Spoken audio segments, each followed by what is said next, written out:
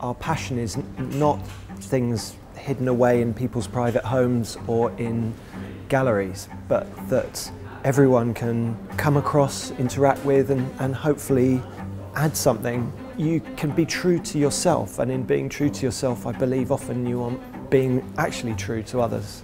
My studio has been working, just trying to keep going for more than two decades. If we've had any success, I suppose it's been because we have kept a faith that ultimately we all want to do something good. And I've been lucky to grow a, a fantastic team of people who work with me and collaborate with me on the different things that we do.